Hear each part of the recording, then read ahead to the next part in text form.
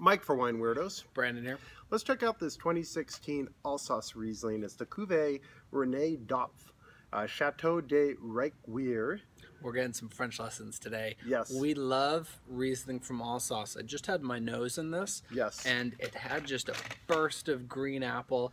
And it also had Mm. a really, really zingy turmeric thing. Mm-hmm.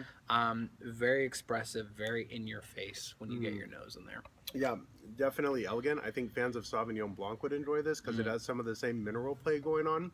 It has some Sancerres. Yeah. We were checking out earlier. Wow, this is pretty high quality stuff. and it's got a really long finish. I took a sip before this video started, and it's still just evolving in the back of my palate Yep. on the way down. Would love to see what this would do with some more time in the cellar, but it's drinking awfully well now. 89 points from Wine Enthusiast. I'd have to agree. Love it. Good stuff. We'll be back with more on Wine Weirdos. Cheers. Cheers.